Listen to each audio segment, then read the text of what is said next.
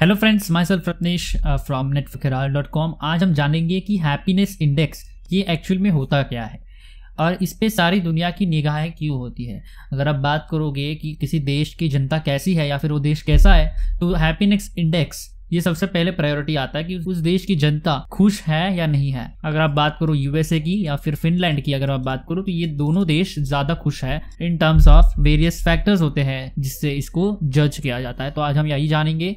So let's begin the video so दोस्तों, जानते हैं कि what is happiness index basically तो ये जो वर्ल्ड हैप्पीनेस रिपोर्ट एक पब्लिकेशन है जो United Nation sustainable development solutions network हर साल निकालता है। इस रिपोर्ट में दुनिया भर के तमाम देशों के, यानी हर एक देशों की हैप्पीनेस इंडेक्स की रैंकिंग्स होती है। देखिए, यहाँ पे लिखा हुआ है it contains articles and rankings of national happiness कि कौन सा देश कितना खुश है, उनकी जनता कितनी खुश है। बेस्ड ऑन कुछ रेटिंग्स होती है जो उनका लाइफ फैक्टर डिसाइड करते हैं। उस आधार पे quality of the life factor specially अगर हम बात करें इनकी तो इसके बेसिस पे ही हैप्पीनेस इंडेक्स डिसाइड किया जाता है। अगर हम मार्च 2022 यानी आज तक की बात करें तो फिनलैंड सबसे ज़्यादा हैप्पीस्ट कंट्री है फ़िलहाल 2022 में। और ये फिनलैंड जो है ये पिछले पाँच सालों से यानी फाइव टाइम्स इन रो ये किताब जीत चुका है यानी फ़र्स्ट पे ही है अभी तक। अब इंडिया की क्या रैंक है? इस वर्ल्ड हैप्पीनेस इंडेक्स रिपोर्ट में जो यूएन के द्वारा पब्लिश किया गया है हम देखेंगे वीडियो के अंत में। तो बने रहिएगा इस वीडियो के अंत तक। सो so, दोस्तों अब हम जानेंगे कौन से ट्वेल्व एरियाज़ हैं जो हैप्पीनेस इंडेक्स को मेजर करने में मदद करते हैं। तो अगर हम सबसे पहली बात करें तो सेटिस्फेक्शन विद लाइफ अगर आप लाइफ से कितने सेटिस्फाइड हो या नहीं हो, उसके बेसिस पे डिसाइड किया जाता है। फिर आता है आपका साइकोलॉजिकल वेलबींग या फिर हम इसको मेंटल हेल्थ भी कहेंगे। मेंटल हेल्थ कहना बेहतर होगा कि साइकोलॉजिकल वेलबींग जो होता है किसी देश का, उसके फ़िज़िकल हेल्थ से भी रिलेटेड होता है। तो इसके बाद हम डिस्कस करेंगे फ़िज़िकल हेल्थ के बारे में। जो कि थर्ड पॉइंट है, और इससे भी मेजर किया जा सकता है हैप्पीनेस इंडेक्स तो उसके बाद टाइम बैलेंस यानी कि वक्त को कैसे संतुलन संतुलित रखते हैं लोग, या फिर वक्त को कैसे फ्लेक्सिबिलिटी है what is the flexibility of time in that country तो ये सब चीज़ें हम आज देखने वाले हैं।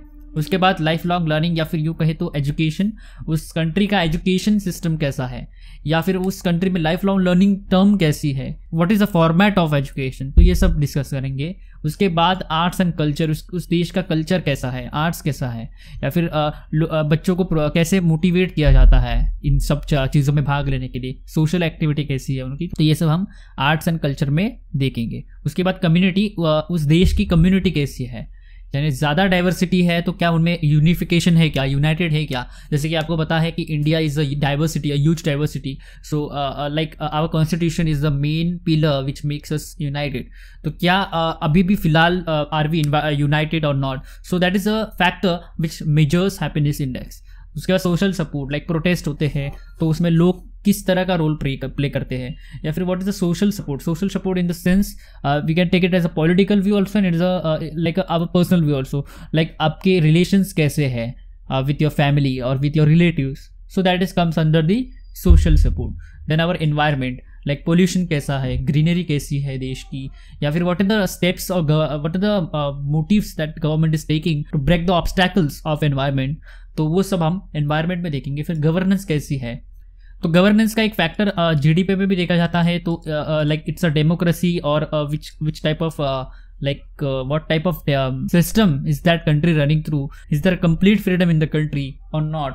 या फिर क्या गवर्नमेंट से लोग खुश है या नहीं है या ऑपोजिशन का क्या रोल है? तो ये सारी चीज़ें हम गवर्नमेंट में देखेंगे। उसके बाद स्टैंडर्ड ऑफ़ लिविंग है। Standard of living in the sense कि आपके पिताजी जो है वो लाइक फाइव हंड्रेड रुपीज़ कमाते थे uh, उनके ट्वेंटीज़ में। अभी आप अपने ट्वेंटीज़ में बीस हज़ार कमा रहे हो। So is there any standard of living change in your family या फिर अभी आप पाँच साल भी देखो अगले या फिर जब इलेक्शन नेक्स्ट फाइव ईयर्स में आएँगे या फिर 2024 में आएँगे तो क्या 2019 से 2014 तक टू थाउज़ेंड सॉरी 2024 तक आप में कोई इंप्रूवमेंट हुआ है? या फिर आपकी स्टैंडर्ड ऑफ़ लिविंग इंप्रूव हुई है? या आप लाइक uh, uh, like, मैंने मैंने एक एग्ज़ाम्पल लेता हूँ।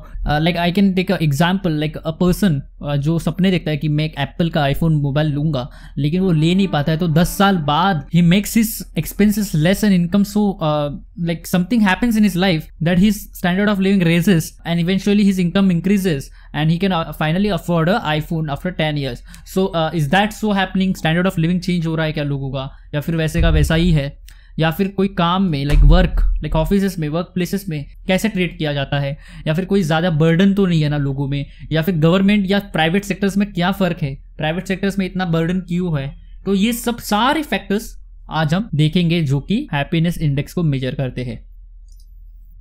तो दोस्तों फर्स्टली हम शुरू करते हैं सेटिस्फैक्शन विथ लाइफ से। इसको पहले समझेंगे कि ये क्या है। तो लेट्स बिगिन तो तो द हैप्पीनेस इंडेक्स जो है वो दो सेक्शंस में बटा हुआ है यहाँ पे। तो अगर हम बात करें कि एक चीज़ होती है जिसको कहते हैं कैंट्रल लैडर तो ये एक लैडर टाइप चीज़ होती है, जो मैं आपको दिखाऊँगा थोड़े समय बाद।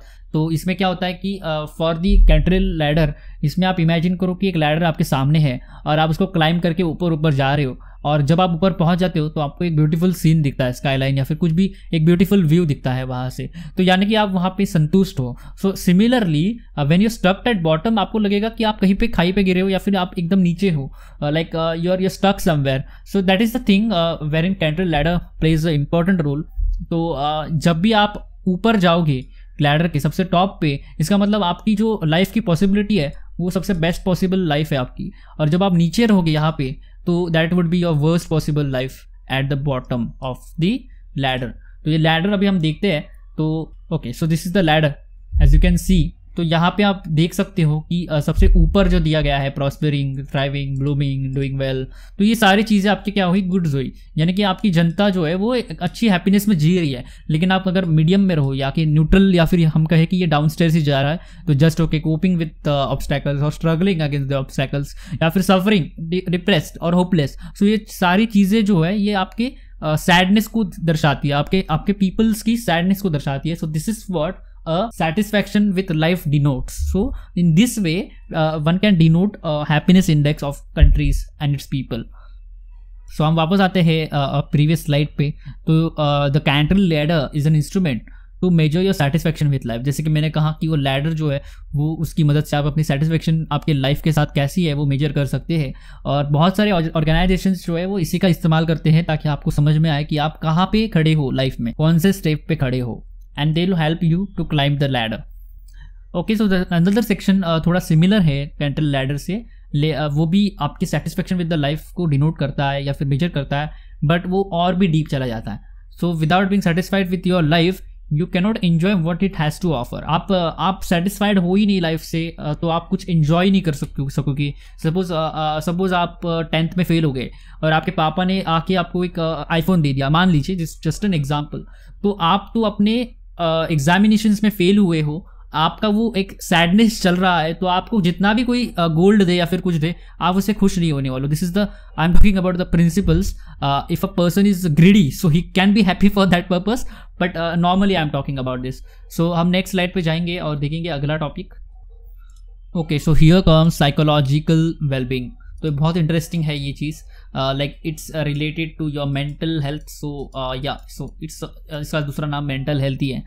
तो साइकोलॉजिकल वेलबींग एक एक्सपेक्ट है, जिसके कारण हमें पता चलता है कि आपकी हैप्पीनेस आपकी हैप्पीनेस क्या मैटर करती है ज़्यादा। तो सपोज़ आप अपने फ्यूचर के बारे में इतने नहीं सोचते या फिर इतने नहीं गोल्स प्लान करते या फिर आपके पास कोई पर्पस नहीं है पॉजिटिविटी रहने का या फिर जीने का तो नेचुरली आपका हैप्पीनेस कहीं ना कहीं सफ़र कर रहा है, कहीं ना कहीं कॉम्प्रोमाइज़ करके आप जी रहे हो। So this thing is called as mental psychological wellbeing so there is a quote your mental health is as important as your physical health physical health तो आपकी है ठीक लेकिन अगर आपकी मेंटल हेल्थ ठीक नहीं है तो आपकी ओवरऑल हेल्थ पे आपके प्रॉब्लम हो जाता है और उसका असर हमें सोशल और इंटरनल में भी दिख जाता है। So many have witnessed mental health revolution जब कोविड uh, नाइन्टीन आया जब बड़ा पेंडेमिक आया। इंडिया में ही नहीं पूरे दुनिया में लेकिन खासकर इंडिया में क्योंकि India has high level of poverty as compare to its population okay so in this country where where G per capita भी लोगों का इतना नहीं है तो इस समय पेंडेमिक uh, के समय बहुत कुछ मेंटल हेल्थ uh, से गुजर रहे थे लोग मेंटल बैड मेंटल हेल्थ से। तो कुछ लोगों ने सुसाइड तक कर लिया था और कुछ लोगों ने अपने जॉब्स गवा दिए।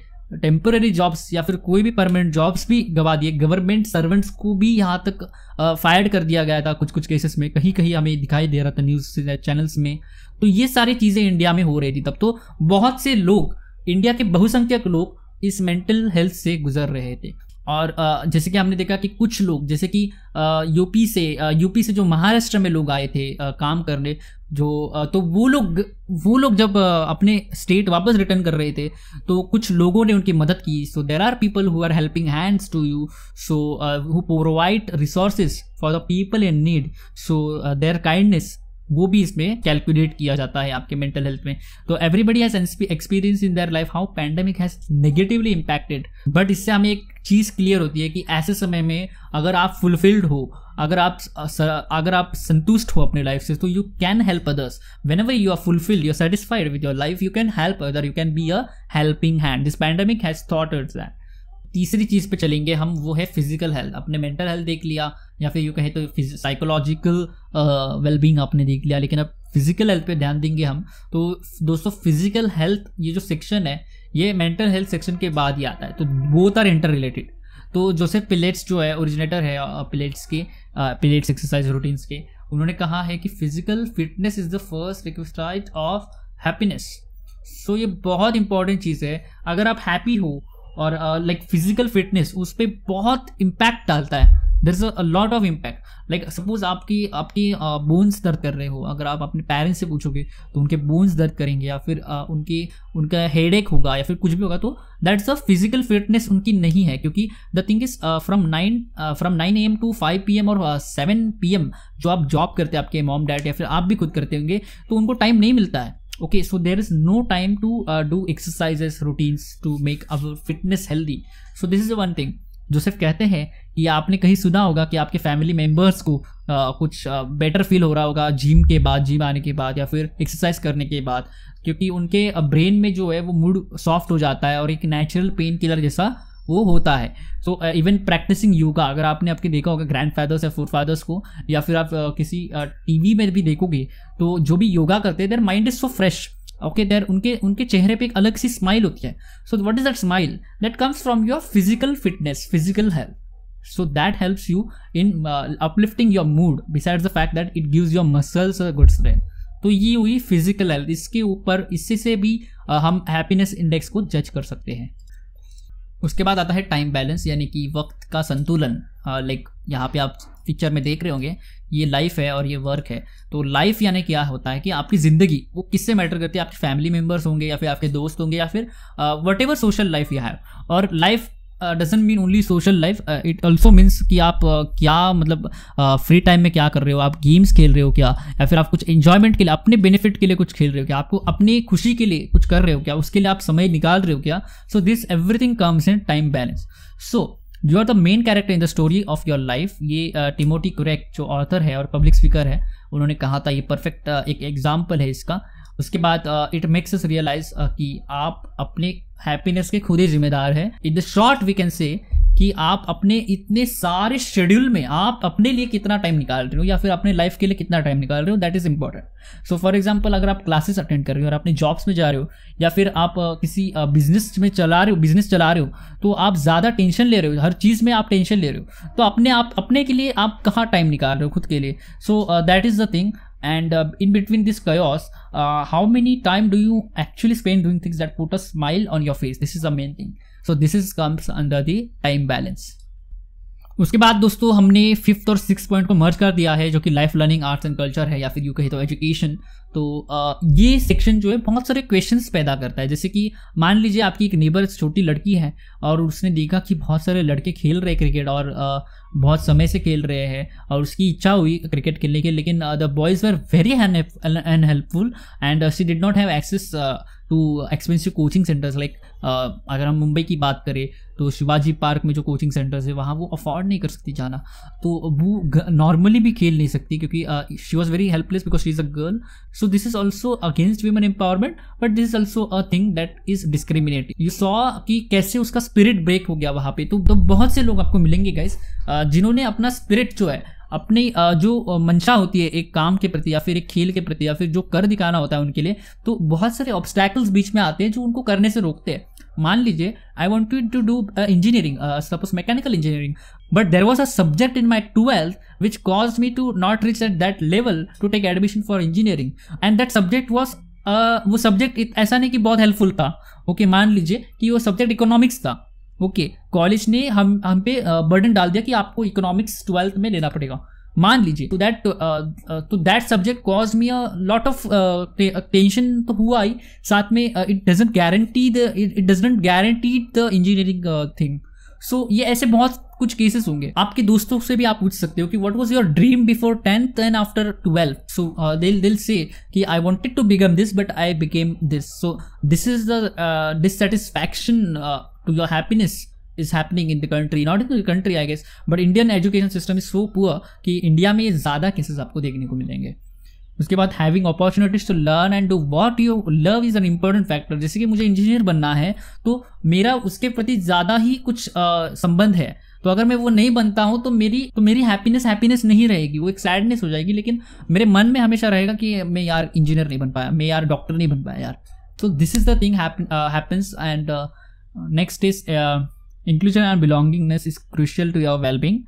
When you feel excluded अगर आपको लगता है कि आप अकेले पड़ गए हो तो आपका हैप्पीनेस जो है वो ऑब्वियसली डिक्रीज करेगा बहुत सारे तरीके से। जैसे कि आप किसी सर्टन ग्रुप ऑफ़ पीपल को आइडेंटिफाई करते हो और उनको प्राउड है कि you belong to a culture that culture of that people like आप वाइट हो तो आपको लगता है कि I am white and my surroundings are white so I am I am I am superior so that is not the case so but belonging to one group does not mean कि दूसरे ethnicity या फिर दूसरे culture के लोगों के साथ हमें बैडली पेश आना है या फिर डिस्क्रिमिनेट करना है। So being discriminated against leaves a feeling of contempt like अगर आप देखोगे अगर प्राचीन एंशंट इंडिया की बात कर रहा हूँ मैं, जब ब्राह्मण्स का होल्ड था पूरी इंडिया में, तब शुद्रस जो थे, या फिर हम कहें दलित के साथ जो भी व्यवहार हुआ, जो भी डिस्क्रिमिनेशन हुआ, या फिर जो भी एक इंसान ह्यूमन इन ह्यूमन एक्टिविटीज़ जो उनके साथ हुई।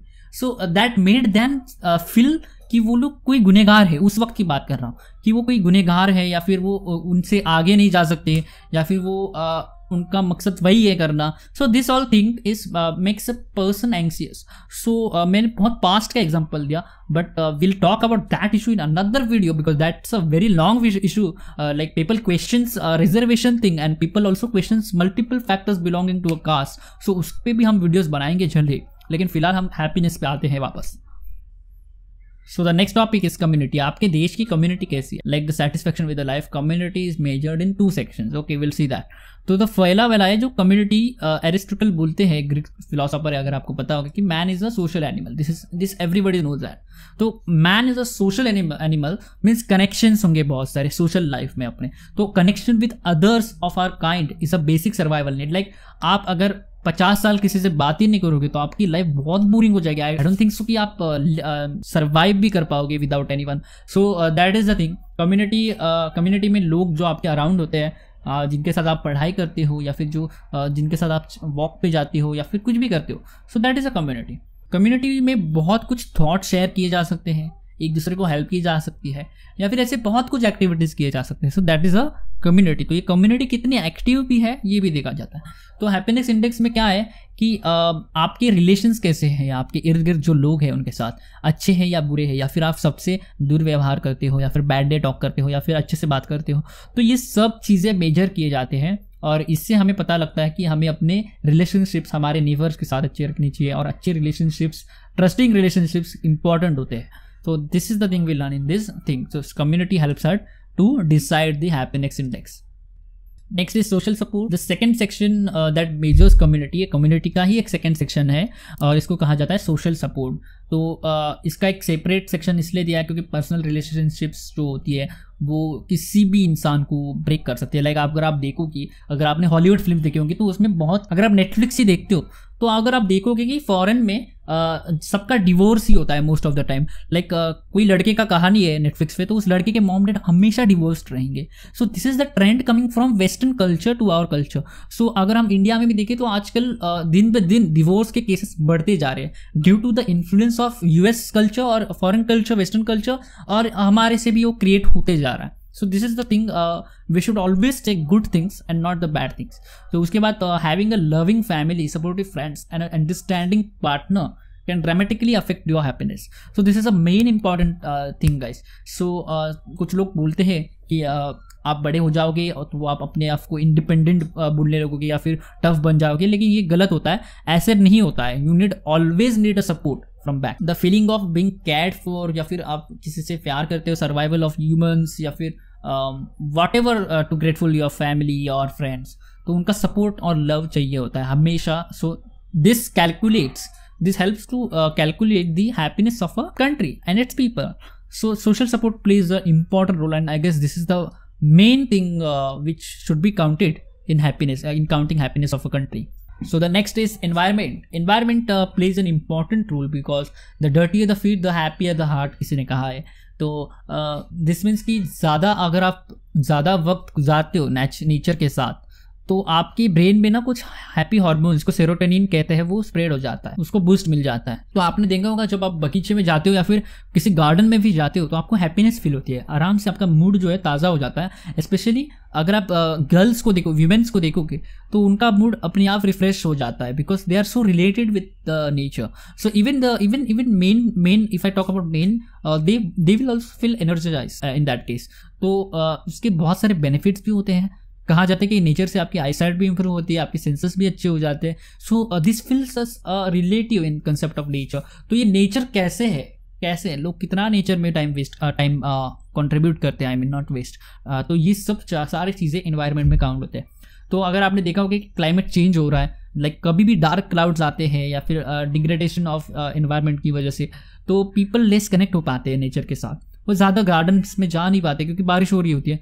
या फिर कभी भी बारिश होती है, कभी भी गर्मी शुरू हो जाती है तो this is imbalance of environment also causes issues in the counting of happiness so the next is government this is the most important factor of happiness of a country तो गवर्नमेंट बहुत बड़ी होती है, लेकिन कभी कभी हमें लगता है कि गवर्नमेंट का हमारे लाइफ पे प्रभाव नहीं होता है। लेकिन यस गाइस डेफिनेटली आपके लाइफ पे गवर्नमेंट का प्रभाव पड़ता ही है। अगर कल भी अगर कोई दूसरी पार्टी रूलिंग पार्टी बन जाए या फिर गवर्नमेंट में आ जाए तो भी आपके लाइफ में परिवर्तन होता ही रहता है। इट्स द थिंग कि आपके लाइफ में हमेशा से इम्पैक्ट रहा है गवर्नेंस का।